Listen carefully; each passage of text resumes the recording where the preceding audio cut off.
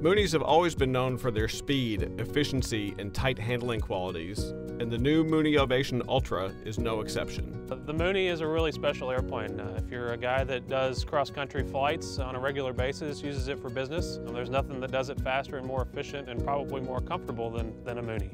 On the ramp, the Ovation Ultra has the sleek lines of a thoroughbred. The most noticeable change on the outside is a Mooney First, a pilot side door. The comfy leather seats in the Ovation are handmade at the company's factory in Kerrville, Texas. The two screen Garmin G1000 NXI panel comes standard with synthetic vision.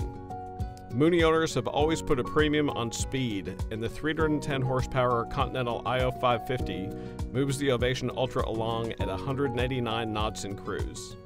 The airplane maneuvers with a tight, responsive, crisp feel that Mooney pilots have always found appealing. Despite Mooney's Chinese ownership, the production of the airplane is all American.